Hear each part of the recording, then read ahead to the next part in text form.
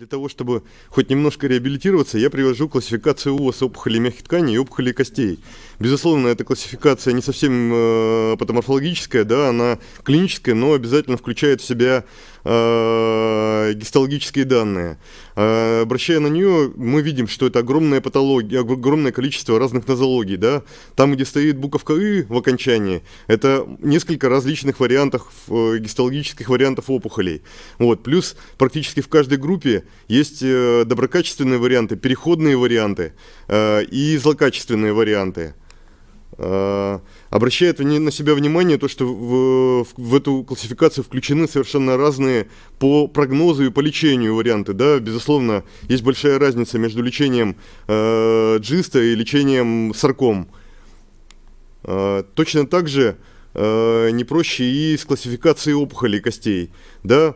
Э, огромное количество различных э, гистологических вариантов. Э, обращает на себя внимание, что часть э, нозологических каких-то единиц, она при этом пропадает, да.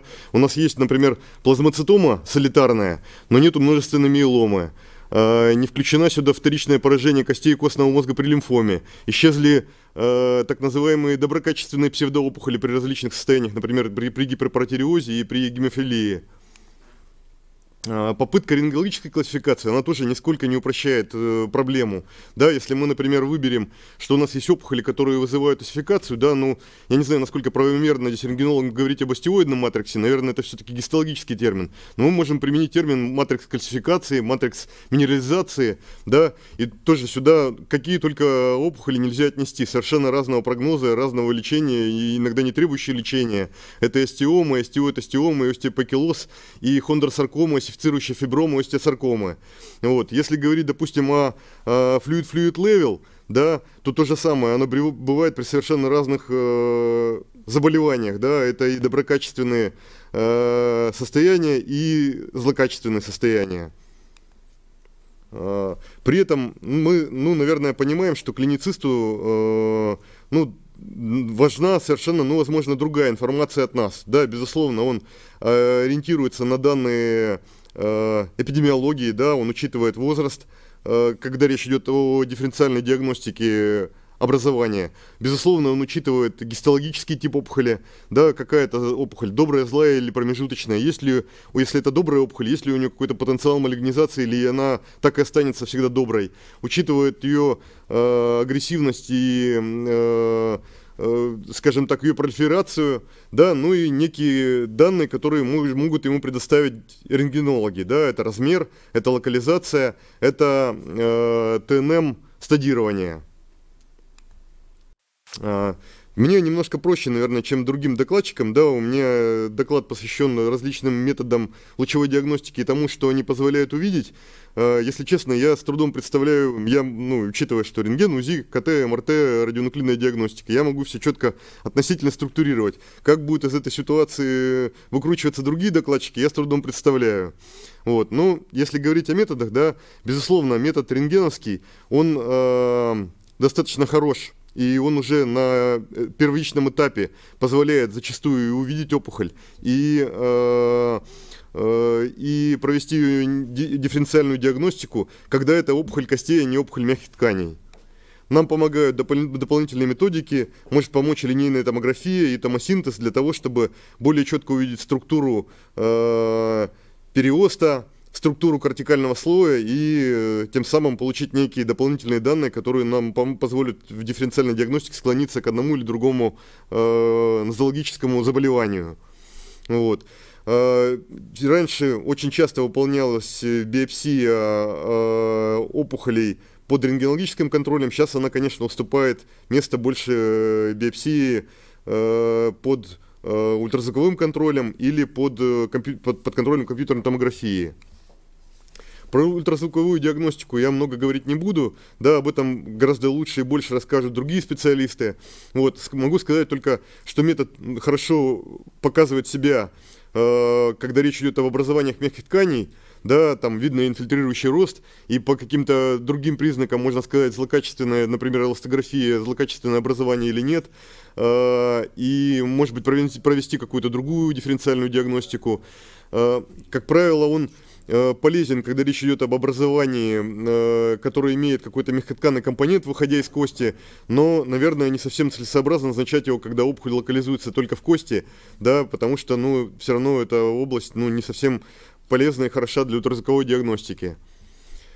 Э, компьютерная томография, да, э, безусловно, метод, э, наверное, он может быть полезен и при э, дифференциальной диагностике опухолей э, мягких тканей, да, при дифференциальной диагностике, но там его возможности ограничены. Вот здесь пример доброкачественного заболевания, да, скажем так, это все равно опухолеподобное заболевание, гемангиома Казабах-Мерита, да, мы видим мягкотканное образование, оно имеет, э, оно растет и вдоль плевры, и между, между ребер, и на диафрагму переходит.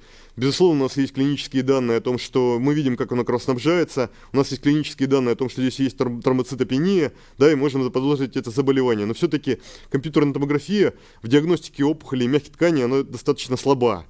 Э, и э, уступает здесь э, ультразвуковой диагностике и магниторезонансной томографии.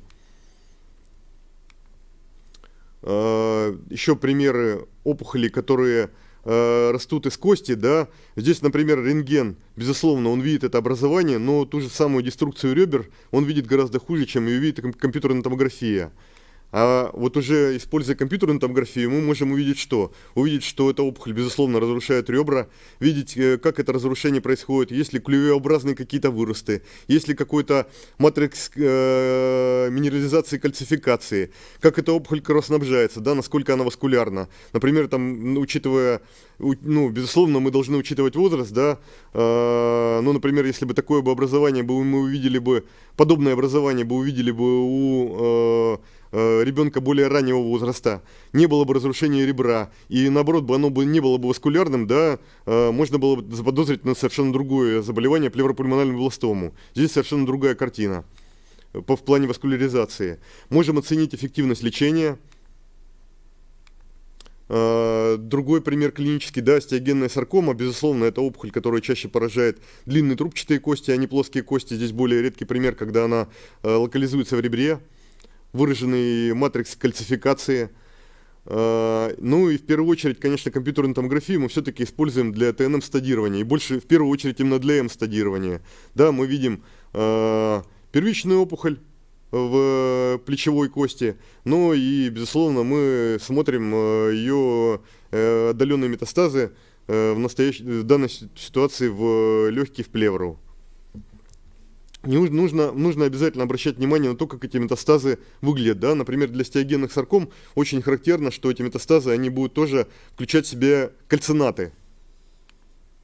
Да, вот тоже пример, когда э, метастазы в лимфатических узлах, в легких, они кальци, кальцинированные, обозреслены.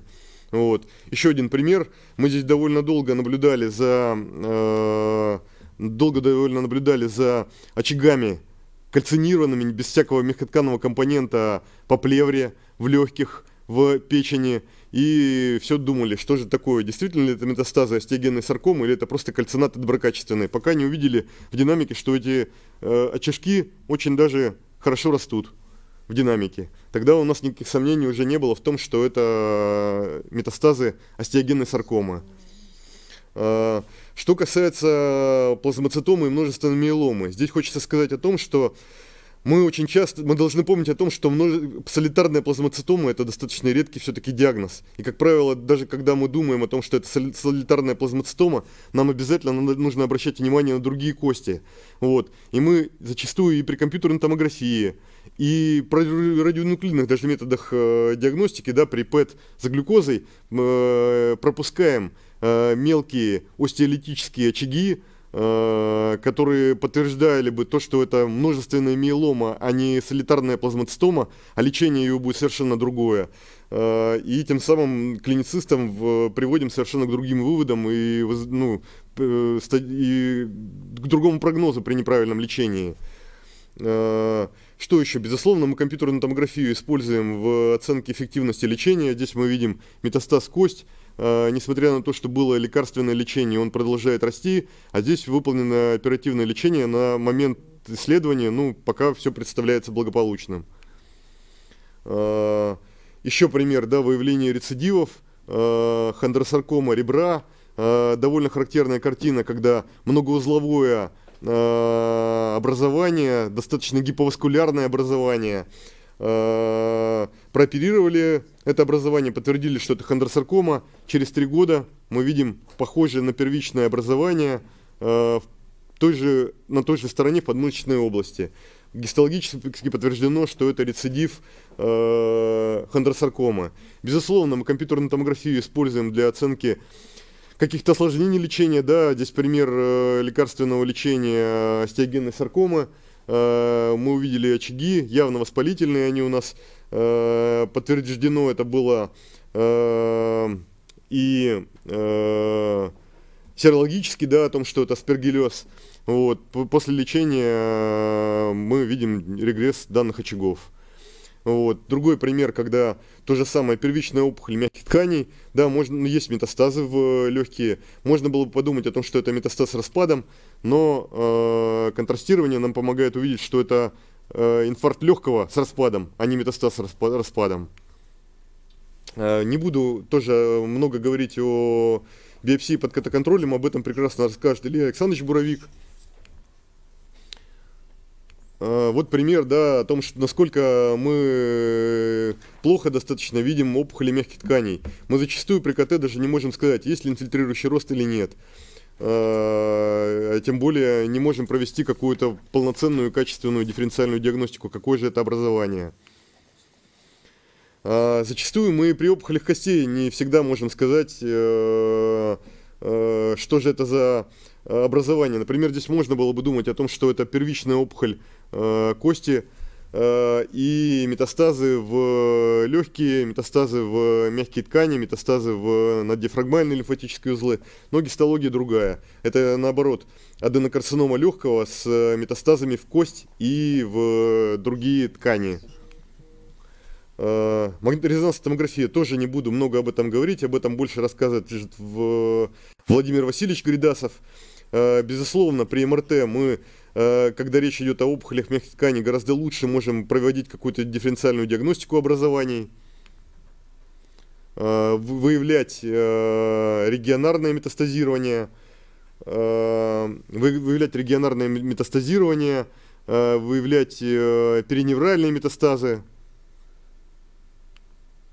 Нам помогает МР-диффузия для того, чтобы сравнивать те данные, которые мы видим при скажем так, при тех последовательностях, которые больше, лучше видят структуру э, тканей, и сравнивать ее с э, более функциональными изменениями, насколько эти изменения совпадают для того, чтобы подтверждать или э, опровергать э, наши мысли о отдаленном метастазировании на, в кости. Но тоже у МРТ, безусловно, есть определенные пределы.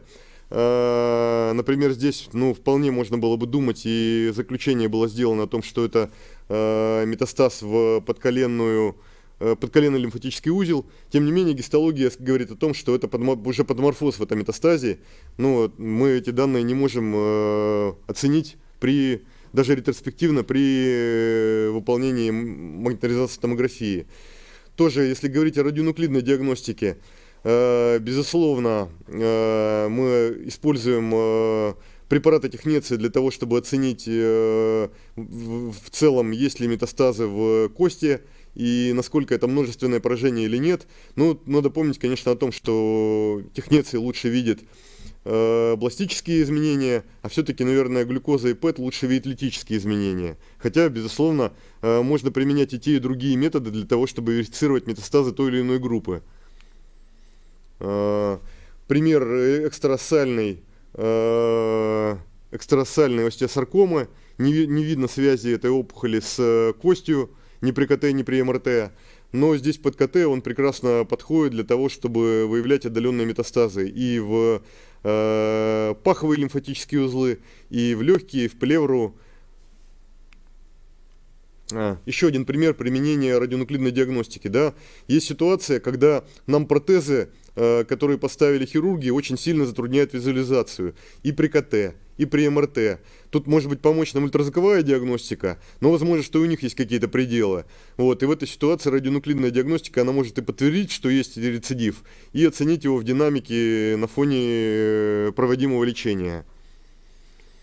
А, поговорю еще немножко о дифференциальной диагностике злокачественных образований с доброкачественными образованиями и воспалительными изменениями.